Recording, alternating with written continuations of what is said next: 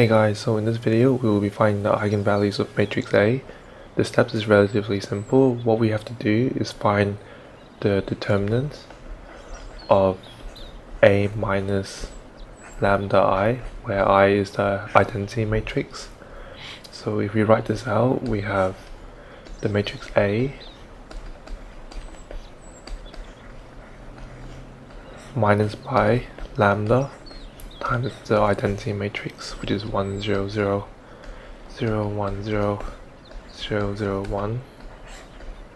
And when we simplify this down, we have 2 minus by lambda, 1 minus by 0 is 1, negative 2, 1, 0 minus by lambda is negative lambda, 0, 0, 1, and negative lambda.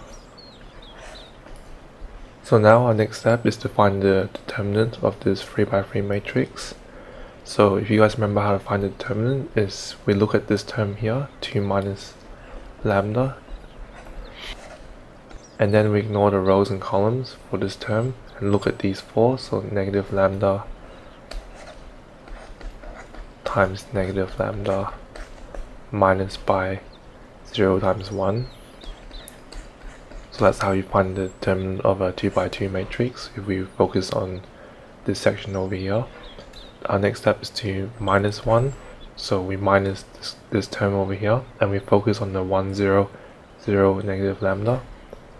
So we have 1 times negative lambda is negative lambda minus by 0 times 0, which is 0. And then we plus the negative 2 term, so plus negative 2 times the determinant of 1 1 negative lambda 0 so that would give us 1 minus by 0 so this is the determinant of a minus lambda i. And if we simplify this down we have 2 minus lambda. Inside the square brackets we only have lambda squared minus by 1 times negative lambda is plus lambda. And then plus negative 2 times 1 is negative 2 so after finding the determinant what you want to do is make this equal to 0 so basically saying this equals to 0 so that we can solve for lambda. And when we simplify this down we have 2 minus lambda times lambda squared and over here I'm going to manipulate these terms into negative negative lambda plus 2 equal to 0 so because this bracket and this bracket is the same we can factor it out into 2 minus lambda outside of lambda squared minus 1